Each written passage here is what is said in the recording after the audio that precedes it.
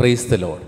A very good morning to you, my dear sisters and brothers. Today we learn a beautiful word of God from the book of Prophet Isaiah, chapter 44, verse 22. I have swept away your transgressions like a cloud, and your sins like mist. Return to me, for I have redeemed you. My dear sisters and brothers, this is a powerful promise of redemption. Whatever sins you have committed, if you are ready to repent upon your sins, there is a place for you in the heart of God. And He will forgive all your sins, and He will remember your sins no more. As the Word of God said, I have swept away your transgressions like a cloud. When we see the life of David, he was a beloved child of God, but we know that he has committed a sin. Then he was away from the Lord.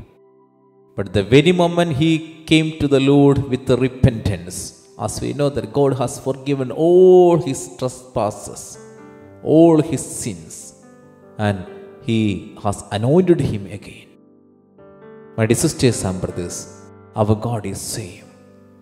Whoever may be, whatever sins you have committed, if you are ready to repent upon your sins, God will forgive all your sins and He will never ever remember sins anymore. Let us trust in God's mercy and offer ourselves and all the intents of today and we pray. Thank you, Jesus, for a new day. This is the day that you have made, and we will rejoice and be glad in it. Great is your faithfulness and your steadfast love, O Lord. I give this day to you and ask that you use me however you see fit. This day is yours. Everything that I am is yours. Be at my side and take control over the affairs of my life. You are the God of the impossible, and there is nothing you cannot do.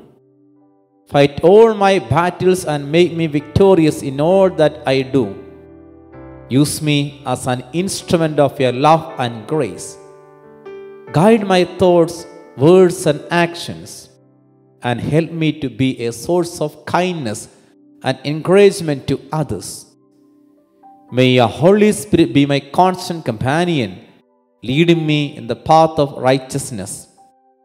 All praise and glory to you, Father. In Jesus' name we pray. Amen.